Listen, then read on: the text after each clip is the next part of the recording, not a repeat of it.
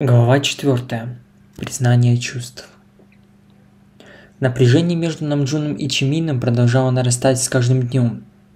Каждый случайный взгляд, каждый легкий жест или прикосновение были наполнены эмоциями, которые оба испытались скрыть. Это стало почти невыносимым, особенно во время репетиций, когда им приходилось проводить много времени вместе, притворяясь, что все остается по-прежнему – но внутри их обоих бушевали чувства, которые уже невозможно было игнорировать. Однажды после долгой репетиции все участники группы разошлись, чтобы отдохнуть. Нам Джун, как всегда, остался на пару минут дольше, чтобы пересмотреть расписание и обсудить планы на будущие дни. Он ожидал, что Чмин также уже ушел, но когда поднял глаза, то увидел его неподалеку. Чимин стоял у окна, глядя в темноту за пределами студии. Его поза была напряженная, как будто он что-то обдумывал. «Все в порядке?» – спросил Намджун. Слегка нахмурив брови, он подошел ближе, чувствуя, что что-то тревожит Чимина. Чимин обернулся к нему. Его лицо было серьезным, даже немного растерянным. Это был не тот Чимин, которого привык видеть Намджун – яркий, веселый и беззаботный. Сейчас он выглядел так, словно готовился к какому-то важному разговору. Нам Джун, «Я... нам нужно поговорить», – произнес Чимин, и его голос дрожал. Он знал, что этот момент может изменить все. Страх потерять другого и друга, и лидера был почти невыносимым. Но держать в себе эти чувства было уже невозможно – Намджун напрягся, чувствуя, что разговор будет серьезным. Он не знал, о чем именно Чимин собирается сказать, но в глубине души уже догадывался. Эти скрытые чувства, которые они оба пытались игнорировать, теперь висели в воздухе между ними, требуя признания. Чимин сделал глубокий вдох, будто собираясь силами, прежде чем продолжить. «Я долго думал об этом», – начал он нервно перебирая пальцем.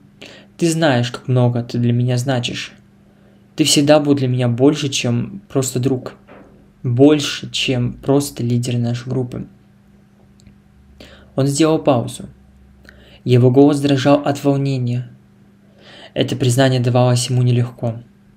Он боялся того, что может последовать за ними слова, но еще больше он боялся того, что будет, если он никогда не скажет правду. Намджун, я не знаю, как сказать это иначе, продолжил он. Наконец, встретившись взглядом с Намджуном, я чувствую к тебе нечто больше, чем просто дружбу. Я... Я люблю тебя. Не как друга, а как человека – который для меня стал самым важным. Тишина заполнила студию. Нам Джун смотрел на Чимина, не зная, что сказать. Это признание было ошеломляющим для него, хотя часть его уже давно подозревала, что эти чувства взаимны, но услышать это вслух было совершенно иным. Намджун опустился на ближайший стул в его голове царил хаос. Он пытался осмыслить все, что только что услышал. Он чувствовал э, всегда, что что-то особенное к Чимину, но думал, что это просто тесная связь, основанная на доверии и дружбе. Теперь все оказалось намного сложнее. Чимин начал медленно пытаться подобрать правильные слова – это неожиданно. Хотя, если честно, я тоже чувствовал что-то подобное. Я просто боялся признаться в этом самому себе. Чимин, который все время напряженно ждал ответа, вдруг почувствовал облегчение. Он не был один в своих чувствах, и это было важно.